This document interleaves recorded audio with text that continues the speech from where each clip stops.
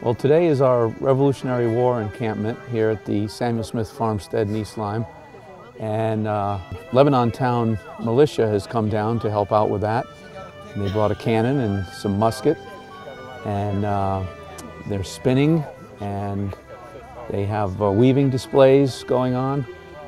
And the idea is to get people to appreciate what life was like all those years ago, several hundred years ago.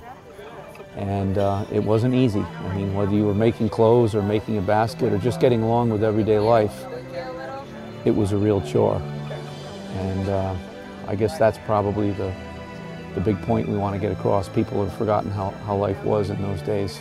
Love any kind of volunteer effort here that anybody uh, is willing to put forth. We have a dedicated group of uh, about 12 regular members that are doing things and, and 30 some odd members that show up at events like this.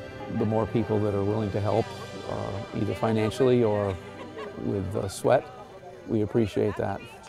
So I think that's what we want people to appreciate is uh, all the work that went into it and, uh, and we, we want to save these things and cherish them.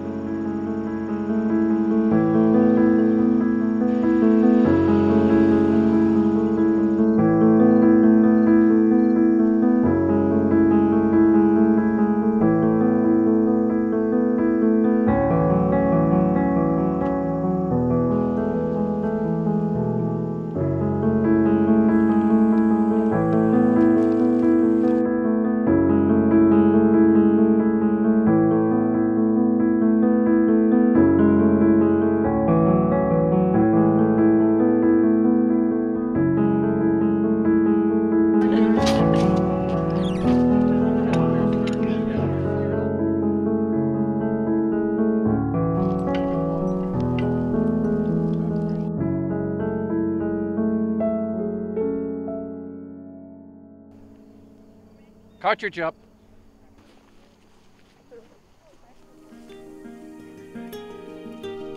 Inspect cartridge.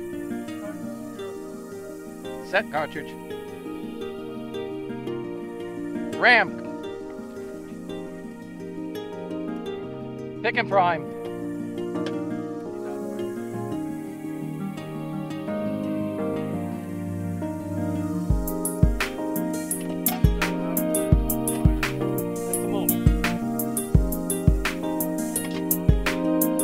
Picked and primed, sir, ready to fire.